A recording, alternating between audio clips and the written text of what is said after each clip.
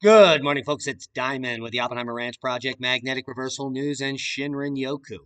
Bringing you a grand solar minimum update Wednesday, April 27th at noontime, Mountain Time, 2022. We are currently, boom, popping off the floor into geomagnetic storm, and we'll get to that. But the big story near record to record cold is forecast for the next few days, as well as snow. Keep calm. It's boom time. Last weekend's warmth seems like a distant memory in the Northeast as freezing conditions and even some snow chill the region into late week. Sounds like a cold week in the Northeast. Record breaking snow as well comes down in Western New York. Cover up your grill and save the gardening for the weekend because snow has come down once again in Western New York. In fact, record breaking snow. The previous record snow for April 27th was just 2.2 inches set in 1931, but as of 5 a.m., snowfall had reached 1.2 inches. Cinches.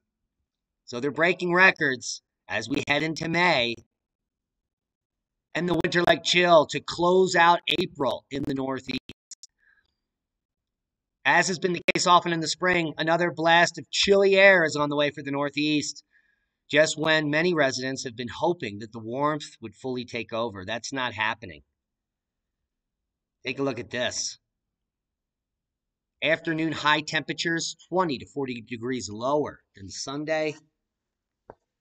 And that will be a fun day. This is midweek. And there will be some spotty rain and snow, and we'll get to those models in just a moment. Quick recap of South Dakota's wild, wild spring hail, tornado, high winds, and blizzards. And that means, well, trailers are being flipped over by Mother Nature. And here's the report 16 inches of snow fell on Casper Mountain with 80 mile per hour gusts. It drove the blizzard over I 90 and shut down all those roads. And that was a record for the date on Saturday of 13.5 inches on Mountain. So, more records falling, including Jay Peak in Vermont extending its season with a hairy fat guy to represent 300 inches of snow. No idea why they picked that. But you love the warm weather. May forecast is not your friend, especially if you live in the north. And these monthly temperature outlooks come out often. And here is the May 2022 outlook. And it's looking below normal for all those places that are in that blizzard region, North Dakota, eastern Montana, as well as the tip of Minnesota. And all the way down, it's looking like below normal for Indiana and Ohio. So heads up, Mr. Crouch. Your bees are going to be chillified. April snowstorm damages local vineyards. It's too early to tell the extent in Oregon, but this isn't the only place where they're having difficulty with crops. And with this low record low coming near Michigan, the fruit co- crops may not handle the near record freezing temperatures so well, and they're showing some grapes there. So heads up, cover your crops, miss them if you need need to, because a major recession is coming. So not only are we going to have crop losses, supply chain issues, but according to the big guys, a major recession is coming. And this isn't news. We've been warning that these things would happen six years ago.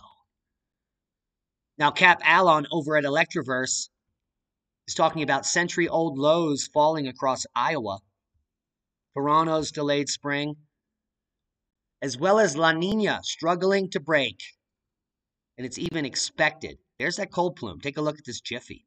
That is some, this is the temperature anomaly. This is below normal. So the, those purple regions are going to be cold. So heads up. And here are some record temperatures on the 26th and 27th.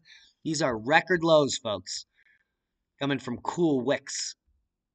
These are the unofficial record lows. And there are, well, it looks to be over a hundred, hundreds of them. And let's see if we got a La Nina graph here.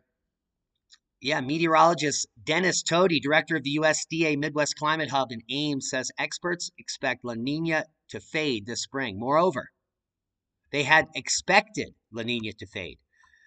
But La Nina conditions commenced in mid 2020 and then made a surprise return in 2021, with NOAA infamously tweeting, She's back. But for La Nina to persist, persist through 2022 would be something really quite unusual. It'd be a trifecta. When you have multiple years in La Nina, it's a very rare event. And it could stay below that threshold. So we did report on it a little while ago.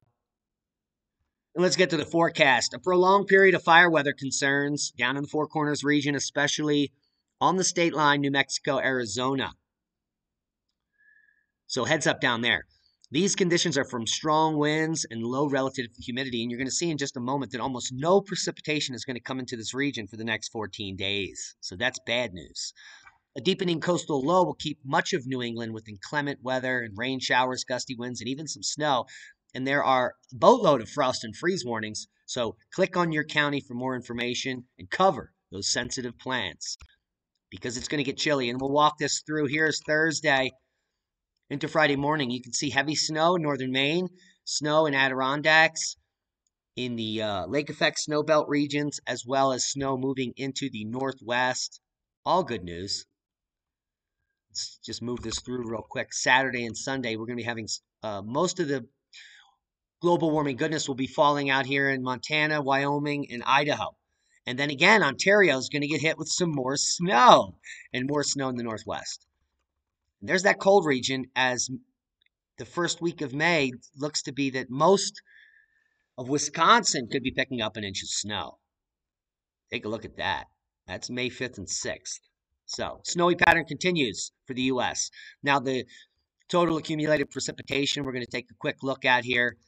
And you can see Arizona is bone dry.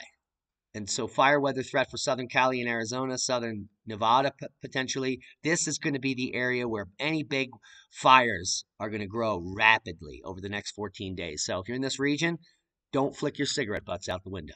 Now, underwater volcano in Antarctica triggers 85,000 earthquakes.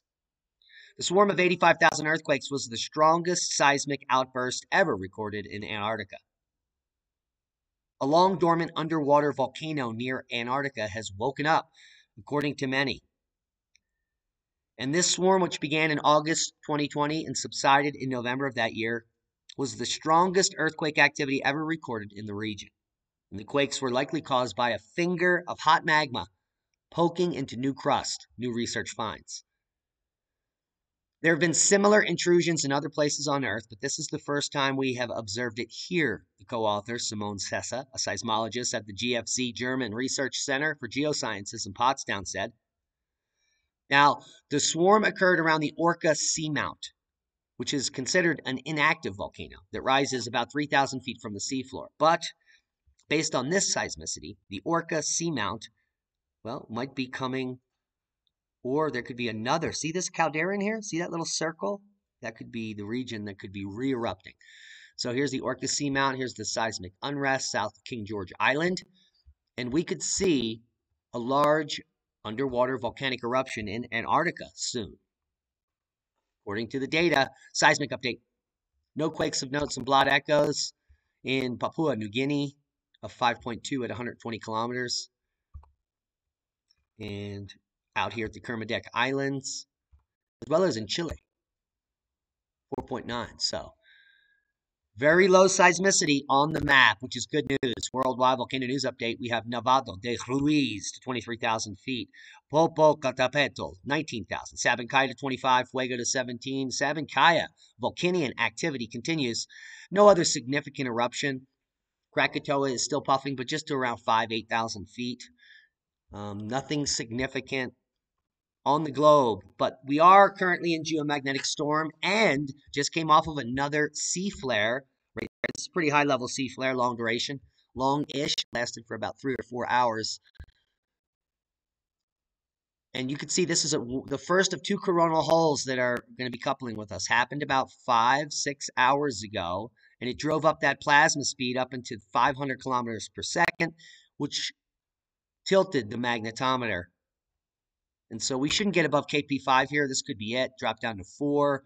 Maybe there'll be a reverberation, but we popped from one to five very rapidly. And the next coronal hole stream could be a little bigger. And that should couple with us Friday, according to the experts. And that means aurora. If it stays in KP5 for until tonight, we're going to have a nice aurora band moving through Canada. So go outside and look up. Now, the Ukraine war could cause the biggest price shock in 50 years, according to the World Bank. And we just showed you that other foreign banks think we're about to head into a big recession. So, you think it's a good idea to start growing your own food, perhaps, or stockpiling some some preps or supplies? I think so. Especially when a potentially hazardous asteroid twice the size of the Empire State Building will skim past Earth tomorrow, according to NASA. It will blaze past us at 23,000 miles per hour. Now, luckily, this object is going to be about eight lunar distances away, but it's a big one. The asteroid name 418135 or 2008 AG33 has estimated diameter between 1150 and 2560 feet. And it will break into Earth's orbit at a blistering 23,300 miles per hour. Now, thankfully, no one's up there to noodle with this, in the near future, people are going to be up there. Like China is going to conduct asteroid deflection tests in 2025. Well, what could go wrong with that? No, I know China might be the capital of ping pong. But when it comes to ping pong and asteroids, I don't want to be part of that game. Do you? And for those looking for a killer solar cycle progression, I got it. I got almost every solar cycle laid on top of each other where you can glaringly see how cycle 24 is, well, the weakest in centuries, at least in 24 cycles. And I'll leave you links to the paper as well. A semi automated method to reveal the evolution of each sunspot group in a solar cycle. And based on these predictions, cycle 25 should have a single large peak and drop off rapidly. And that's it. I said it.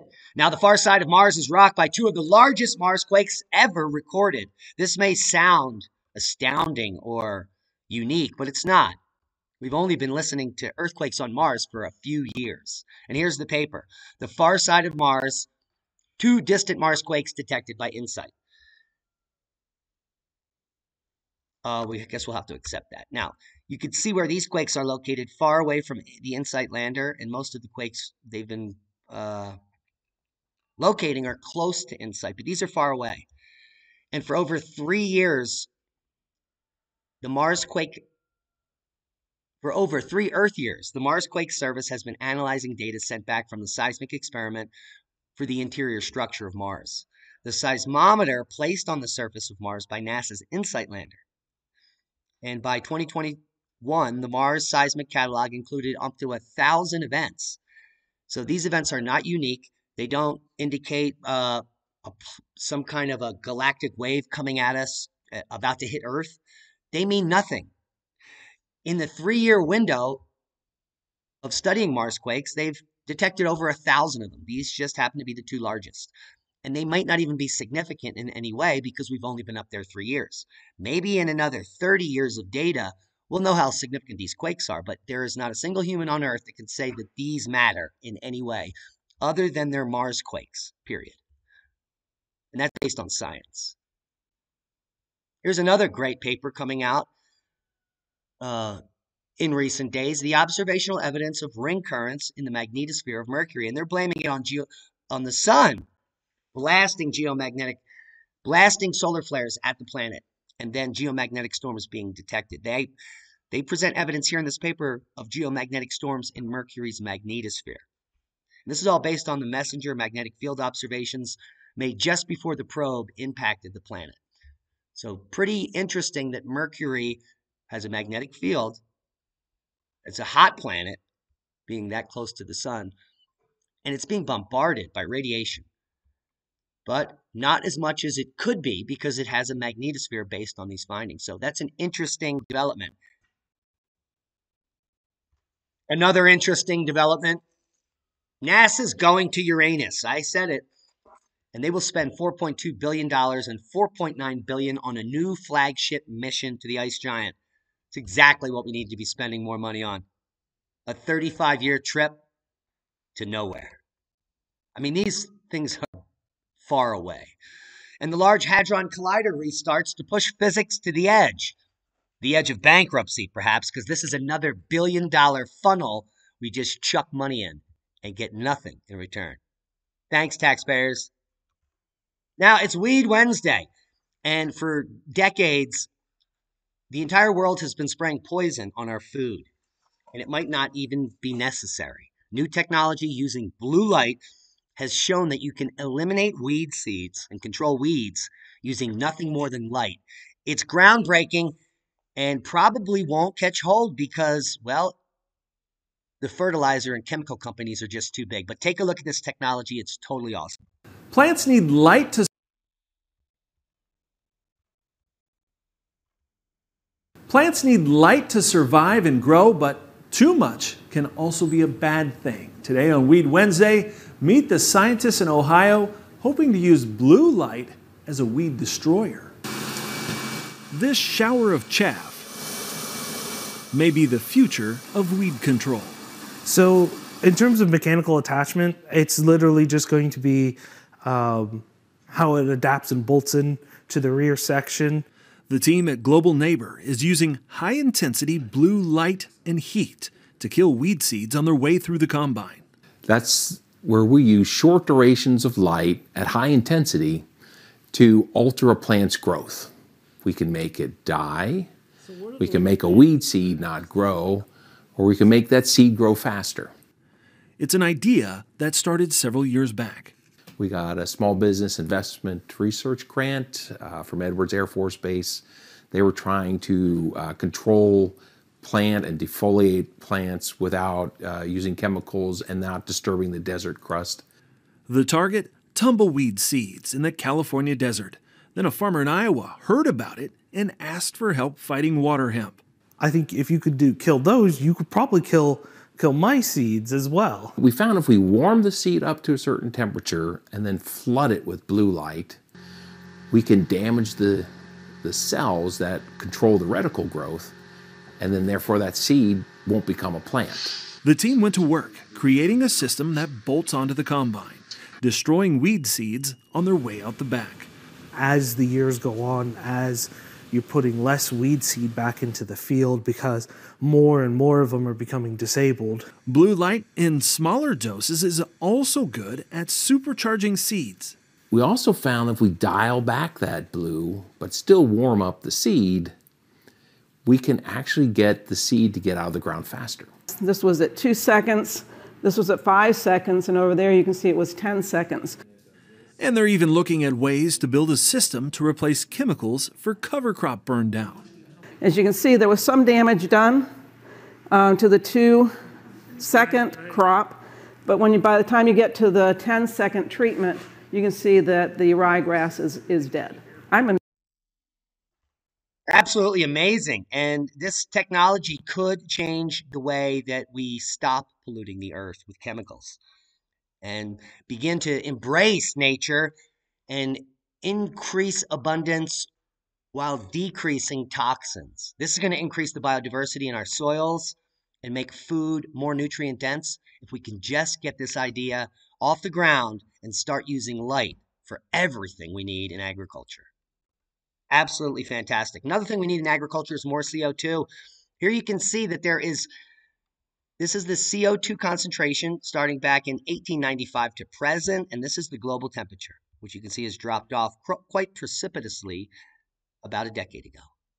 So those are the facts. we'll leave you links below. And also leave you links to 500 million years of unrelatedness between atmospheric CO2 and temperature. All of geologic history, in fact.